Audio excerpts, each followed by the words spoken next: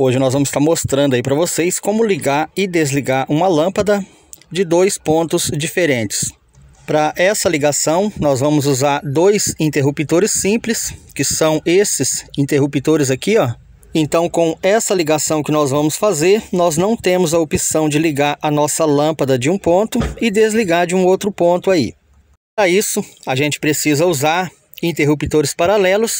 Lembrando que nós temos vídeos no canal onde nós mostramos como fazer a ligação de interruptores paralelos mais intermediário.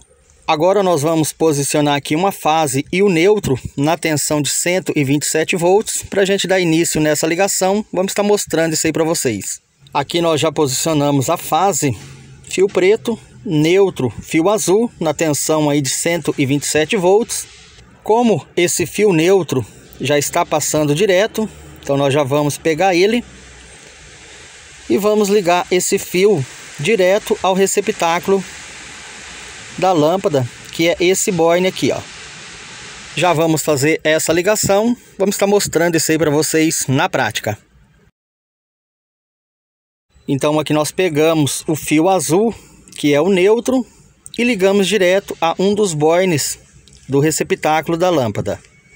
Feito isso agora, nós vamos pegar a fase, que é o fio preto, e já vamos ligar essa fase ao borne de entrada desse primeiro interruptor, que é esse borne aqui, ó. Desse mesmo borne do primeiro interruptor. Então nós vamos sair com essa mesma fase e vamos ligar a esse outro borne aqui, ó, do segundo interruptor. Já vamos fazer essa ligação Vamos estar mostrando isso aí para vocês na prática também. Então aqui nós ligamos a fase, que é o fio preto, nesse borne do primeiro interruptor. Percebe que desse borne do primeiro interruptor nós mandamos essa mesma fase até esse borne aqui, ó, do segundo interruptor, onde nós já fizemos a ligação. Agora nós vamos sair com o fio desse outro borne aqui, ó, do primeiro interruptor e vamos ligar esse fio ao outro borne do segundo interruptor. Então nós vamos fazer essa interligação aí. Feito isso, desse mesmo borne aqui, ó, do segundo interruptor, nós vamos sair com o fio e vamos ligar esse fio ao outro borne do receptáculo da nossa lâmpada, concluindo aí a ligação. Então nós já vamos ligar aqui vamos estar mostrando isso aí para vocês. Já fizemos essa ligação, como vocês podem ver, desse borne do primeiro interruptor, nós saímos com esse fio e ligamos ele ao outro borne do segundo interruptor.